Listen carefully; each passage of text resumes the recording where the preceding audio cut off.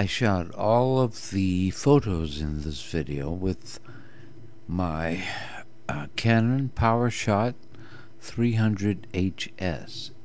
It has mucho features. It um, I shot these photos at 3200 ISO, it, but uh, you can shoot at 100 ISO all the way up to 3200, and uh, you can shoot in automatic mode or fully program mode where you set your own um, set it the way you like with autofocus. And in the video mode uh, the autofocus will follow the subject um, which is unusual for uh, many uh, smaller video cameras.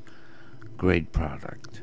Worth worth the money, and believe me, it it does more than cameras that cost as much as four or five times what the Canon PowerShot 300 HS does. Very good.